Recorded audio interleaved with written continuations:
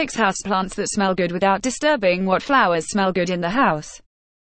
Do you want your house to smell good but worry about air fresheners or air fresheners? Instead of these costly and health-damaging methods, you can look at beautiful smelling flowers at home. If you want your home to smell good without exposing your lungs to chemicals, we recommend some indoor plants that will conquer hearts with their scent. Here are six plants that smell fresh. 1. Wax blossom, Hoya kentiana and Hoya carnosa. Hoya, also called wax flower or porcelain flower, has a pleasant and sweet aroma. Some people prefer Hoya carnosa because it smells like chocolate or vanilla, while others prefer Hoya carnosa because it smells like caramel. 2. It is not difficult to care for it, and it is suitable even for beginners in plant care. Make sure the soil is kept moist and the leaves are not exposed to direct sunlight. 3. Sardinia. These plants emit different scents when you touch them, and their range of scents is really impressive. You can hear the smell of geranium, mostly lemon, chocolate, rose, ginger. They need plenty of sunlight and moist soil to grow. 5. Jasmine.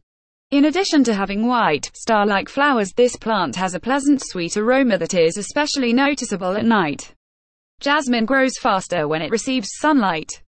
So take it outside occasionally in the summer and keep it near a south-facing window. Additionally, keep the soil moist but not wet. 7. Cuban thyme. Cuban thyme, also called Mexican mint, is neither thyme nor mint. You can also use this velvety leaf herb fresh or dried for cooking. Cuban thyme that you keep near a sunny window will grow best if you water it once a week. 9. Gardenia. Gardenia, one of the different and most fragrant plants, has a special place in the hearts of many gardeners. It has gorgeous white flowers and bright green leaves but is difficult to care for. 10.